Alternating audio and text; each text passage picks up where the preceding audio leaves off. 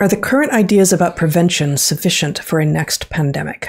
Yeah, I mean, so there's a lot that is known, but that is ignored or denied by the public health apparatus.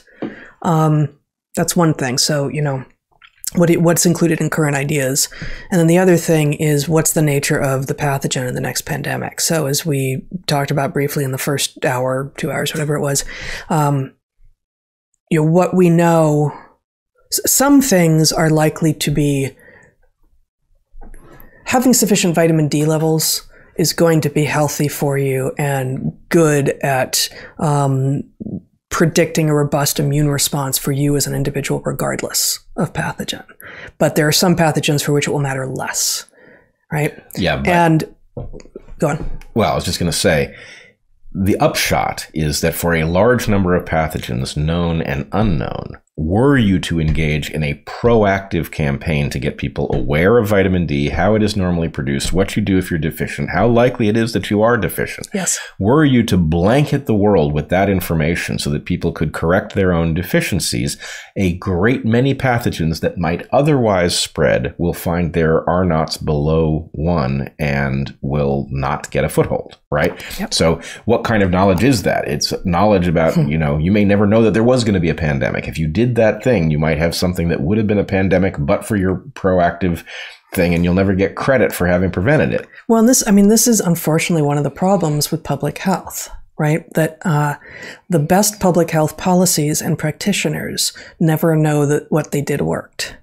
And, and the incentive it, it, structure doesn't. And doesn't so, you know, it, it's much more impressive to come in to chaos and, and appear to solve a problem than to avert the problem in the first place. Because if you avert the problem in the first place, others can legitimately say, How do you know you averted it? You don't know you averted it. Maybe it just wasn't going to happen.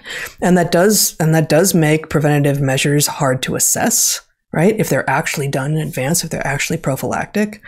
But, um, but vitamin D is so widely understood to have so many uh, beneficial effects in the body uh, that that would, you know, I think that we would see, ah, well, so it doesn't require any new pathogens. We would see the prediction I'm happy to make, and I'm not the first one at all to make, is that if the world got a hold of its vitamin D levels, that we would have a reduction in cold and flu in the winter, in you know, in November through March in the northern hemisphere, and the the southern winter as well in the in the relevant months there. Yeah, no, uh, I, have heard uh, Ryan Cole say, mm. and it may be a slight exaggeration, but I, I, don't think so. There is no cold and flu season. There's vitamin D deficiency season. Right, right. Um, so you know, other ideas about prevention. Part of part of the problem, you know, the the, the party line solutions have so many drawbacks, have so many negatives that no one is talking about, and you know that we talked about some with regard to to masking in the first in the first hour, uh, but the the lack of touch, the lack of uh, of just even you know the lack of serendipity, and just you know like this is so trivial, but just like being able to walk through it early, early in the pandemic, that whole first summer, northern hemisphere summer here in Portland, the farmers markets, which I used to love and just stopped going to them, once they reopened, you had to walk in a particular place. There were only a certain number of people who walk in. At this is an open air market, right? Like walk in, and then there were arrows, and you could only go clockwise or counterclockwise. You could only go this, that, and the other. It's like that's not the whole the whole idea here. Is oh that looks interesting. Oh, I wonder if that guy's peaches are better than hers. Oh, oh, I do want some some strawberries today. And oh, you're going to walk in lockstep around this farmer's market. Well, that's not interesting in any way. And, um, and it's not it's not good for the human psyche it's not good for the vendors at these places and the social distancing the partitions between people like literal partitions and the fact that we're you know mostly seeing each other through screens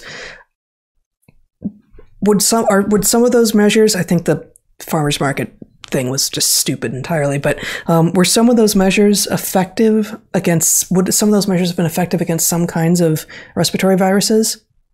Probably, but at what cost? And when do we get to start um, addressing the other side of the equation? Because preventing the next pandemic at the cost of two years of madness and mayhem and chaos in which the disparity in wealth and well-being in the world just got far more extreme than it was before. That wasn't worth it. Yeah but uh, a i think we are partially downstream from a sales pitch about how likely um, these pandemics are. Yep. and you know this is like the perfect storm of awful, right? You had um, salesmen behind the scenes pitching the idea that we absolutely had to find the most dangerous pathogens we could and turbocharge them as quickly as possible so that we would be ready if they ever leapt out of a cage of their uh, the cave of their own accord which was nonsense. Or as it so, turns out, a cage. Number one, yeah, number one thing to do to prevent the next pandemic is get a hold of these nitwits and keep them away from power and money. Yes. And, you know, notice that it's not like this was a secret. We had a battle in 2015 over mm-hmm. whether or not the gain of function uh, research program was itself the hazard to planet Earth legislatively we did the right thing. And then uh, again, that snake oil salesman overrode the gain of function ban and offshored the work. So yep. you need to get a hold of your political corruption problem if you want to prevent the next pandemic, because the most likely place for your next pandemic to come from is the nitwits, nitwits with their sales pitch about turbocharging viruses. Yep. But um, the other thing, which I proposed at the beginning of all of this, mm-hmm. was that we ought to be studying, and I people will say we already are. I don't believe them. We need to be studying the way normal pathogens actually work.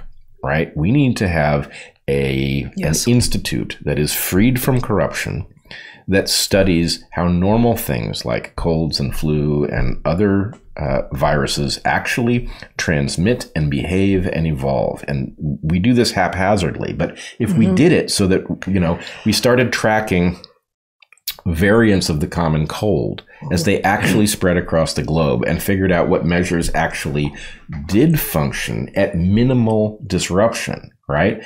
And then the other, the third part of this is at the beginning of the pandemic, we started to have the first decent conversations in public about uh, how things are transmitted.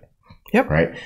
The fact that people began to understand fomite transmission, they began to understand that they might be wiping things into their eyes that would then make them sick, right? That conversation was healthy. Mm-hmm. The fact that it took COVID to have us having this conversation about t- getting conscious about whether or not you're touching your face, yeah, right. All mm-hmm. of these things are important, and so the point is: a, we need people who are not in the business of lying to study the question of how things are transmitted, even normal, mundane, everyday things that are not important to control, like colds, right? In order that they can take that knowledge and map it onto things that are important to control. Mm-hmm. So we need to prevent ourselves from releasing these things.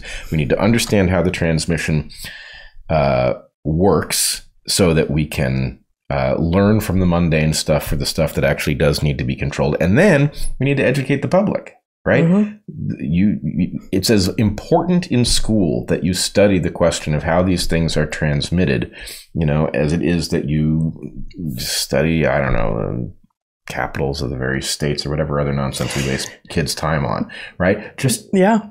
This is the kind of knowledge that will actually save weeks of your life from being compromised by pathogens if you just simply understand where you're in danger of contacting them and how you can alter your behavior to reduce the chances that you do right? If you could reduce the number of colds and flus that you had in a lifetime by 20%, how much education would that be worth? You know? It's a lot. Yeah. And uh, you would be teaching students how to think through systems and come to conclusions that aren't uh, th- that aren't just about memorization. Unlike you know your example of the state capitals is both a stereotype and still true, I think, and a very good one. It's very easy to teach that sort of thing because you're either right or you're wrong. If we're going to go into memorization territory, let's at least make it math, right? right. Like let you know at least at least with the, there are some things, some you know just basic basic basic arithmetic things like your times tables um, that you should know. And that is a memory thing. Like, yeah, you can derive it each time, but that's going to take a while. So why not just memorize it? And um, yeah, there's a lot of things that most people who actually have a lot to say about a lot of things do have that they can pull from memory. But uh, memory is not the thing. Memory is not the main thing. And what you want to, you know, have is, you know, an architecture in your head of like what's connected to what. So you can say, oh, well, I don't, I, I can't pull that fact up, but I can connect it to this, to this, to this, to this, and there it is, right? And, you know, the state capitals have the virtue, which is to say not a virtue at all, of being, you know, very easy to assess for a teacher. Like, you either, you either got got it or you didn't. It's Sacramento or it's not, right? Um, but there's no dev- devising it that you could possibly do. You cannot derive by first principles what the capital of any state is. You might have a memory associated with a thing. You might have a mnemonic, but a mnemonic's another cheat and it's taken up more brain space. And, you know, it is useful that I still know most, not all by any means, of the state capitals. Kind of. I think it would be more useful that I knew for sure. And I like I'm my dad did a lot of maps with me. I know a lot of geography, most more than most Americans, but um, it would have been much more important to learn uh, 50 the locations and borders of 50 countries that most Americans don't know, or even the most Americans do know than the capitals of the 50 states. Sure, start with the 50 states themselves, but then go to the capitals? No.